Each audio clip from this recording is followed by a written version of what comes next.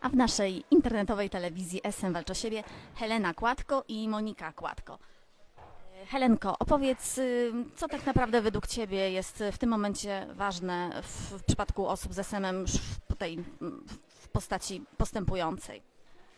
E, Słuchaj, rzeczywiście wszyscy koncentrujemy się na farmakologii, bo ona jest szalenie ważna, szalenie istotna dla naszych chorych. Ale są rzeczy bardziej prozaiczne, bez których ciężko żyć, a mianowicie chodzi tu o środki hygroskopijne. Proszę Państwa, wciąż chory leżący w tej już postaci przewlekle postępującej potrzebuje absolutnie pieluchomajtek czy cewników, bo ten neurogenny pęcherz y, ma różne potrzeby.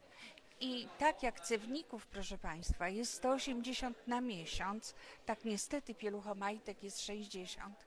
I to jest zmora. Ta pieluchomajtka, która jest niezbędna każdemu, a kobiecie w okresie aktywności rozrodczej ta pieluchomatyka pełni potrójną funkcję i chora nasz dostaje dwie na dobę. To jest wstyd.